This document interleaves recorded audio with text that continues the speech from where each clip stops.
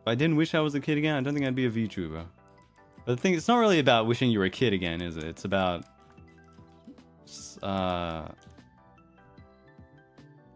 having time to, to play, really. And you know, you get a lot of time to play as a, as a VTuber.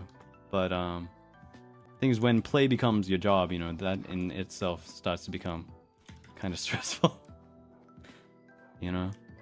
Because, uh, you gotta it's your fun to have it's excuse me it's your job to have fun. It's your fun to have job. And uh you know sometimes you you can't always have fun or it's hard to have fun and you know that's out of your control.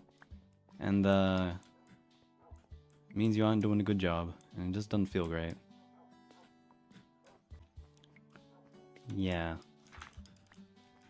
um people people talk about it like when your hobby becomes your job and then you know you it when it stops being just a hobby is when you start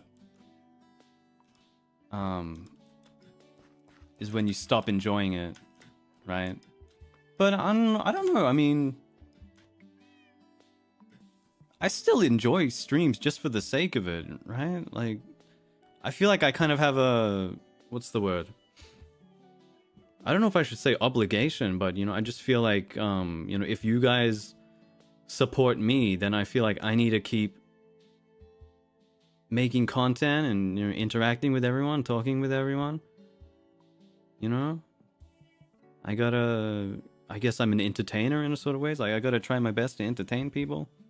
I don't know if I'm doing that right now. I'm kind of just talking and running my mouth. but, um...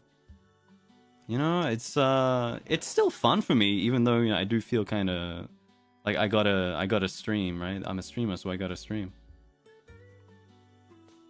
Yeah. But at the, at the same time, you know, I know that, you know, when it's time to take a break, you just take a break. And I've been doing that.